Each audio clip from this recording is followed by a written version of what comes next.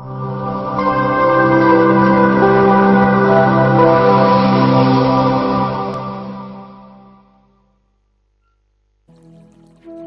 की राजधानी दिल्ली से करीब उनतालीस किलोमीटर की दूरी पर औद्योगिक नगरी फरीदाबाद में बड़कल के समीप, अरावली के चरणों में हरी भरी वादियों के आंचल में स्थित है। ऋषि पराशर की तपोभूमि जो आज पर सोन मंदिर के नाम से विख्यात है।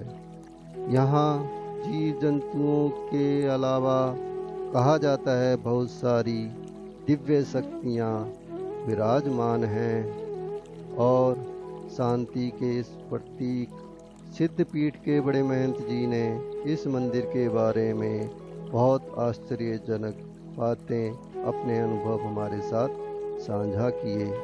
उन्होंने बताया कि यह सिद्धपीठ किस तरह से एक चमत्कारी स्थल है? ये स्थान पराशर ऋषि की तपोभूमि है। पराशर ऋषि वशिष्ठ जी के पोते थे।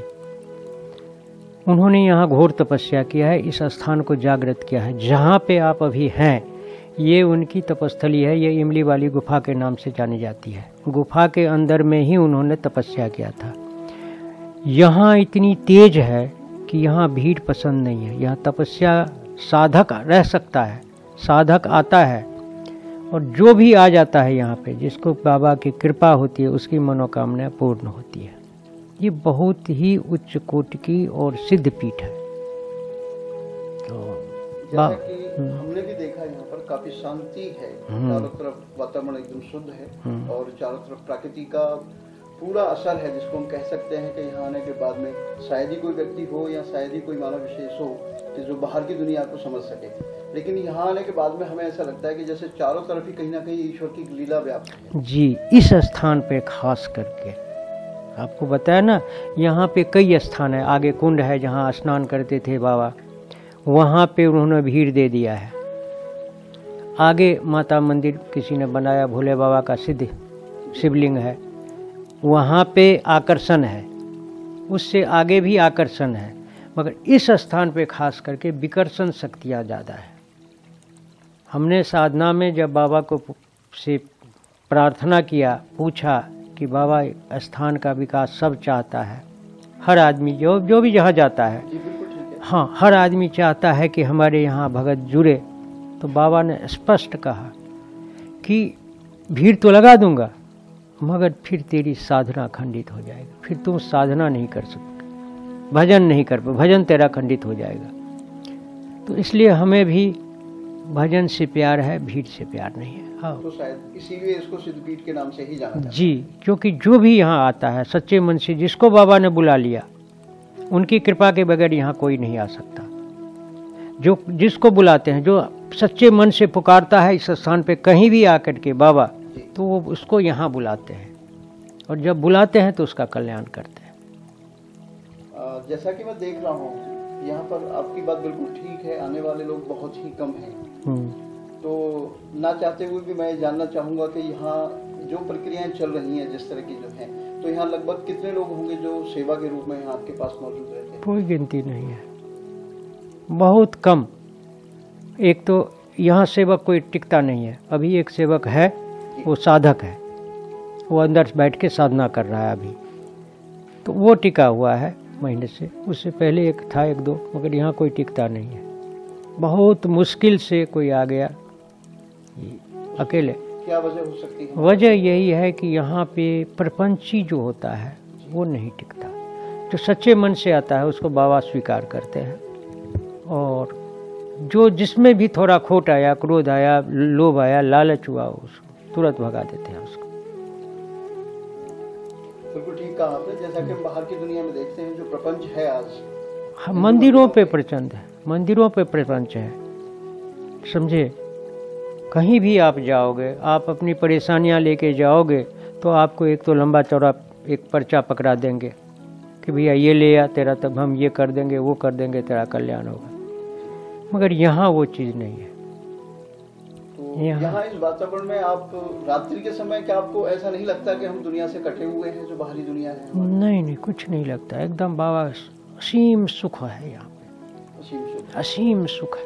बिल्कुल ये तो मैं मान सकता हूँ जैसा कि चार तरफ़ हम जो प्रकृति का नज़ारा देख रहे हैं उससे असीम शांति तो कहीं ना कहीं मन को मिलती ही है। लेकिन आज जो बाहरी दुनिया है जो चकाचौंध है क्या ऐसा नहीं लगता कि हम उस दुनिया से बिल्कुल कटे हुए हैं?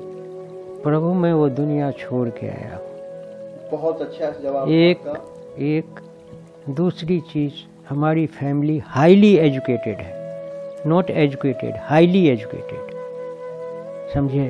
बहुत अच्छा लगा सब कुछ है कोई चीज़ की कमी नहीं है मगर उस दुनिया में मुझे रास नहीं मिला। रास नहीं आनंद नहीं आया।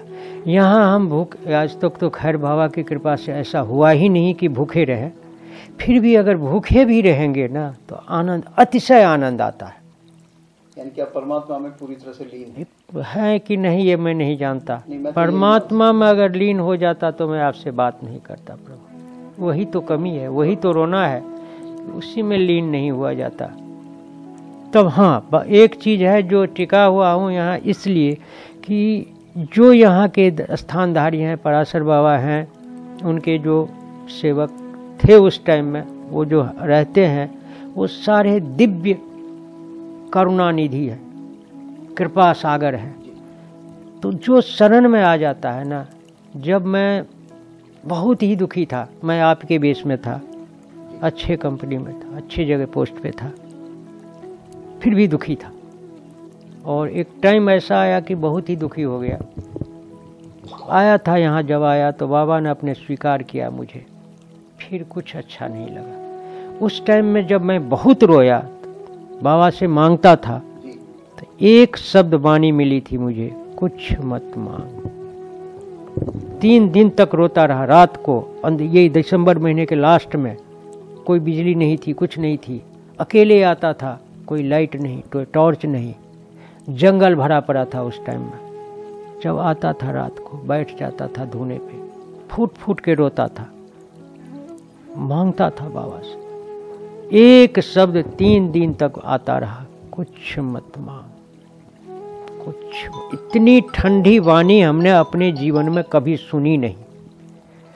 तीसरे दिन या चौथे दिन तीसरे दिन लास्ट में जब बहुत रोया मैंने बोला बाबा आप कहते हो कुछ मत मांग। मेरा आसमान फटा हुआ है। मुझे कुछ समझ नहीं आ रहा। तो अंत में बोले थे बाबा कुछ कहने की ज़रूरत नहीं आना ही बहुत है। तो यहाँ ये है आना ही बहुत है। यहाँ कृपा मिल जाती है। बहुत उच्च कोटि के स्थान है प्रभु ये समझ से हाँ जो साधक है वो समझेगा इसको। वही पकड़ पाएगा। तो जैसे कि यहाँ पे मान्यता है कि यहाँ ऋषि पाराशर जी ने जो तपस्या की थी आ, कुछ उस विषय पे आप प्रकाश डालना चाहेंगे? देखिए कोई जानता नहीं। कोई जानता नहीं कि कब थी। कितने साल पहले थे? वाणी हम सुनी सुनाई बातें श्रुति पुराण के अनुसार कोई कहता है। जी समझिए एक कान से दूसरे कान में जाते जाते वो बात का बतंगर हो जाता। मगर मैंने जो अनुभव किया है, अपने आत्मसात किया है, यहाँ इतनी तेज और इतनी दिव्य शक्तियाँ विराजमान है, जो आपको आनंदित कर देती है। ये धुना जो अंदर है, देख रहे हैं, सिद्ध धुना है, साधक से 10-15 दिन के साधना में ही अपना परिचय देना शुरू कर देती है। और बातचीत करती है। मगर वो साधक के लिए आप चाहोगे आ जाए। आपको असीम शांति तो तभी मिल जाएगी जब आप अंदर प्रवेश करोगे। मगर उससे आगे नहीं। जब आप कुछ दिन ना within a fortnight आपको संकेत मिलना शुरू हो जाएगा इस शक्तियों का। ये है विशेषता इसकी। बाकी ये सबके समझ में आज के लोग झुंझुना चमत्कार के पीछे भागते हैं। ये चमत्कार की जगह नहीं है। ये कृपा की जगह है ये उद्धार की जगह है। समझे? इसलिए मैं कहीं नहीं जाता हूँ शहर में कहीं नहीं घूमता हूँ किसी के पास नहीं जाता हूँ मगर किसी चीज़ की कमी नहीं है यहाँ पे। आप आप ईश्वर पे पूरा पूर्ण भरोसा करते हैं। बाबा पे भरोसा बाबा जाने कौन से ईश्वर से हमें मिलाएँगे हम नहीं जानते। हम बस पराशर बाबा को जानते हैं। जो गुरु महाराज ने दिया हुआ है मंत्र उसका जाप करता हूँ। मुझे बाबा पे भरोसा है। और मेरे साथ तो ऐसा ऐसा चमत्कार किया है कि आप लोग सोच भी नहीं सकते हैं। आपको लगेगा कि ये झूठी बातें बोल रहा है। अब छोटा एक एग्ज़ाम्पल दे रहा हूँ कि आप पंद्रह सोलह हज़ार में लड़की की शादी कर लोगे आप? आज वो अवस्थाएँ नहीं हो पाई। नहीं। और वो भी फाइव स्टार होटल में। बिल्कुल सत्य लग ही नहीं सकता नहीं लग रहा है ना? यही हुआ है मेरे साथ। जो गया है वो जानता है। Thirty two milestone hotel है ना गुड़गावा में। पाँच सौ बारात अटेंड किया। अब मेरे पास सोलह हज़ार से सत्रह हज़ार रुपया नहीं आया। चमत्कार हुई चमत्कार। होटल का मालिक मालकिनी ही सपोर्ट में आ गया। तो ईश्वर की अनुकंपा। बाबा के उनको बाबा की अनुकंपा। चलिए बहुत अच्छी बात है। समझे? बहुत घटना हुआ है मेरे साथ। एक दो नहीं मैं ऐसे नहीं है। मैं वाइस प्रेसिडेंट था किसी कंपनी में। वो रिजाइन करके आया हूँ। बाबा ने बुलाया अपने शरण में लिया है। तो अब उसी चीज़ की इच्छा नहीं रहती है। तो हाँ। आने की प्रेरणा बाबा। सत्य की खोज के लिए या ईश्वर की खोज के लिए? कोई नहीं जानता मैं। मैंने बताया ना बस सीधी बात की बाबा ने बुलाया। उनकी कृपा हुई मेरे पर एक मिनट। जी मेरा सवाल केवल ये है था महाराज जी कि आप यहाँ इस बाहरी दुनिया से निकल कर सत्य की खोज में या ईश्वर की खोज में आप आए हैं? दोनों ही खोज में है। दोनों की मैं सत्य और अपने एक एग्ज़ाम्पल दे रहा हूँ। मैं थोड़ा विद्रोही टाइप का आदमी था। मैं नहीं साधु वगैरह इसको मानता था।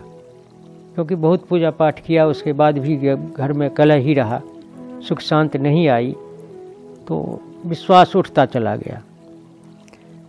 तो उस विश्वास को देखने के लिए जब मैं इस क्षेत्र में आने लगा तो मैंने बोला कुछ है हमारे यहाँ शक्तियाँ की वैसे ही है? वो शक्तियाँ देख ली जिसमें एक ही कृपा पे जब प्रार्थना किया तो गुरु महाराज की एक कृपा पे अढ़ाई साल तक मैंने जल नहीं पिया। अढ़ाई साल तक? जल नहीं पिया। तो इस बीच में अ, कैसा महसूस किया आपने शक्तियाँ थी। आप मानते हैं कि वो उस टाइम में शक्तियाँ इतनी थी कि मैं 10 20 25 किलो का थैला उठा करके इस सीढ़ियों पे सीधे चढ़ जाता था। आठ घंटा दस घंटा बारह घंटा काम करता था कोई कमज़ोरी नहीं थी। न तृष्णा होती थी कि इसकी ये खाओ वो खाओ किसी चीज़ पे खाने की ही इच्छा नहीं होती थी। अ, आपको लगभग कितना समय हो चुका है इस सिद्धपीठ आश्रम पे होते हुए? वैसे मैं 98 से हूँ यहाँ पे। पहले मैं आपके बेस में था तो सेवा करता था सामने बगीची है बगीची लगाया कुआँ खोदा जो भी हो जंगल था बहुत जंगल को सफ़ाई की तो करीब 10-12 साल मुझे लग गया इस सब कामों में। फिर बाबा की कृपा हो गई, फिर उन्होंने अपने सब कुछ छोड़ के इसमें आ गया।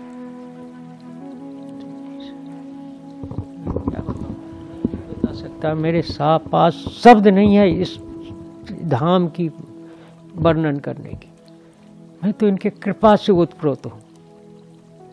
इतनी कृपा हुई है मेरे पे जो कहते हैं, एक कहावत है कि बांझ किया जाने प्रसव का पीरा जो दुखी नहीं है, वो क्या जान सकता है कि क्या कृपा हुई? मैं जानता हूँ कि मेरे पे क्या क्या क्या कृपा हुई है। तब आनंदित हूँ यहाँ पे, मगन हूँ। किसी चीज़ की कमी नहीं है। कहीं जाता नहीं मांगने। अभी आपने महाराज जी कहा कि जो पीड़ित नहीं है या जो दुखित नहीं है, वो पीड़ा को नहीं समझ सकता है। लेकिन जहाँ तक मैंने देखा है कि शायद हमारे पूर्ण संसार के अंदर, शायद ही कोई व्यक्ति विशेष हो जो आज दुखी ना हो। दुख चाहे पैसे का हो, संतान का हो, शारीरिक हो या मानसिक हो। लेकिन आज कहीं ना कहीं हर व्यक्ति विशेष रूप से कहीं ना कहीं वो अपने आप में भी दुखी है। तो इसका कमी एक ही कारण है हमारी आकांक्षा, अतृप्त आकांक्षा। चाह, हमें ये हो जाए, हमें ये हो जाए, हमें ये नहीं। मेन चीज़ ये है कि आज लोग अपने दुख से दुखी नहीं है। ज़्यादातर 99 परसेंट लोग दूसरे के सुख से होर में दुखी है कि उसके पास ये फलाना गाड़ी आ गई, मेरे पास नहीं आई। उसके पास इम्पोर्टेड गाड़ी है, मेरे पास नहीं है। उसके पास दो कोठी है, मेरे पास ढंग की मकान नहीं। इसी से लोग दुखी है। माँ की क्या चाहिए? रोटी। मैं नहीं, अन्न नहीं खा रहा हूँ। मुझे बारह, तेरह साल हो गए अन्न छोड़े हुए। क्या है? कहीं से कमज़ोर हूँ? केवल सब्ज़ी उबालता हूँ, उसमें नमक सेंधा नमक डालता हूँ वही उबाल के खा लेता हूँ। कहीं कुछ कमी दिखाई दे रही है? मगर वही जब मेरी तृप्ति हो गई अरे आप आए कहाँ से आए? अरे वहाँ समोसे ले आना वहाँ से फलाने ढिकाने ले वहाँ से मिठाई ले आना। तो वो कभी चाह मिटती नहीं है। और गुरुओं का आदेश है गुरुओं की शिक्षा है कि चाह गई चिंता मिटी मनुआ बेपरवाह। जाको कछु न चाहिए वो सहन का सा बहुत अच्छे। समझे? एक दूसरी हमारे गुरु महाराज की हमें शिक्षा है। एक तो चाह गई चिंता मिटी। दूसरा फकर कहाना जगत रिझाना कहो किसने फरमाया है? जब आपने साधु वेश ले, लिया है तो जगत को रिझाने की क्या ज़रूरत है? दुनियादारी को सलाम करने की क्या ज़रूरत है? तो शाहनशाह गुलाम हुआ। जब हम उस शाहनशाह के गुलाम है तो फिर दूसरे को किसको शीश नवाना है? तो यही चीज़ें हैं। ये तो आत्मज्ञान का विषय है। जी। बस, आत्मज्ञान को जागृत कीजिए भजन से। हम एक संदेश है। मैंने जो जिस राह से पाया है, मैं कोई पढ़ी लिखी और कोई बात नहीं कहता। किसी की सुनी सुनाई बात नहीं। मुझे जो जो मिलता गया है, मैं वही बोलता हूँ। हम अपने धन को अशुद्ध सेवन करते हैं। धन को शुद्ध करके सेवन कीजिए। विकास कोई नहीं रोक पाएगा। तो जैसा कि आपने भी अपने विषय में जो पूर्ण विषय से बताया बहुत अच्छा लगा जानकर के आपसे भी। आ, मैं केवल एक चीज़ जानना चाहूँगा कि आज बाहरी दुनिया के लिए या मैं कहूँ कि सभी भक्तों के लिए क्या कोई संदेश ऐसा है कि जिससे वो तरक्की की राह पाए और आत्मशुद्धि की राह पाए आत्मज्ञान की राह पाए? कोई विशेष संदेश? अभी अभी करीब एक महीना से मुझे बाबा की तरफ़ से दो तीन संदेश मिला है। एक संदेश तो ये मिला है कि दूसरे का दुख रा दूर करने वाले, तेरे दुख दूर करेंगे राम। किए जा तू जग में भलाई का काम, तेरे दुख दूर करेंगे राम। ये मैंने कहीं सुना नहीं था, पढ़ा नहीं था। अचानक दैवीय शक्ति से मेरे दिमाग में आया। दूसरा, जो तो को काटा बुबई ताही बुबई तो फूल तो को फूल का फूल है, बाको है त्रिशूल। दो, तीसरी है एक, इससे पहले, सबसे पहले वो मिला था मुझे गीत गोविंद के रचयिता हैं जयदेव संत जयदेव जी।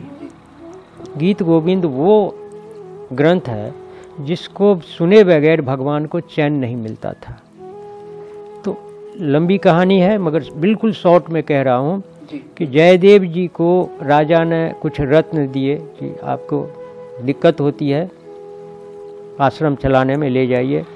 तो लेके चले रास्ते में चार चोर मिले। उन्होंने जंगल में जाके इनका हाथ काट दिया रत्न लेके चला गया। इनको एक अंधे कुएँ में डाल दिया। मगर ये भगवान के ऐसे अनन्य भक्त थे कि कुआँ में ही मगन अपना भजन करते रहे। दैवी भगवान की कृपा से वही राजा शिकार करते हुए गया। उनको सिर्फ़ सैनिक को दिखाई दिए। उनको अब गुरुदेव हैं पकड़ के ले गए इलाज करवाया। प्रभु की कृपा से उनका हाथ पुनः वैसे ही हो गया जैसा था। अब वो राजा कहे कि महाराज, कुछ हुक्म कीजिए, गुरुदेव कुछ हुक्म कीजिए, क्या करूँ? कुछ दिन के बाद प्रेरणा से दैवीय, प्रेरणा से जयदेव ने कहा, तू कहता है ना कुछ करूँ तो तू एक संत समागम कर और यज्ञ कर। और दूर दूर से साधुओं को बुला। बुलाया गया, यज्ञ का आयोजन हुआ। जयदेव जी एक दिन भ्रमण करते हुए, देखते हुए संत के, से मिलने गए। एक झोपड़ी में या कुटिया में देखिए, वही चारों चोट साधु वेश में थे। अब उन्होंने तुरंत कहा, राजा को तू कहता ना कोई बड़ा काम बताइए। इन चारों संत को बुलाओ इनका खूब आदर करो। ऐसे हुआ, उनको बुलाया गया, खूब आदर किया। अब बोले, उसको इतना धन दो कि ये इनको कुछ मांगने की ज़रूरत नहीं पड़े। तो आगे तो उनका खैर पतन हो गया, लंबा नहीं कहूँगा। इसमें उद्देश्य यही है कि जिसने जयदेव जी का साथ इतना बड़ा अन्याय किया, हाथ काट दिया, उसके लिए भी उनके दिल में करुणा था। उसके लिए भी उसको उन्होंने इनाम दिलवाया, उससे भी बदला का भावना नहीं लिया। तो यही हमें संदेश प्राप्त हो रहा है अभी। महाराज जी, आपका बहुत बहुत धन्यवाद। टीवी 19 को आपने समय दिया। और मैं आपका इसके लिए सभी अपने दर्शकों की ओर से भी आपको धन्यवाद देना चाहूँगा। और मैं चाहूँगा कि आप अपनी तपस्या में या जिस तरह से आप साधक हैं आप अपने उसमें लीन रहें और आप आगे की ओर बढ़ें इसके लिए बहुत बहुत यही हमें आशीर्वाद चाहिए आप लोगों से सबसे कि हमारा भजन चलता रहे। जी बिल्कुल। ईश्वर आपकी पूर्ण मनोकामनाओं को संपूर्ण करें। जय श्री राम।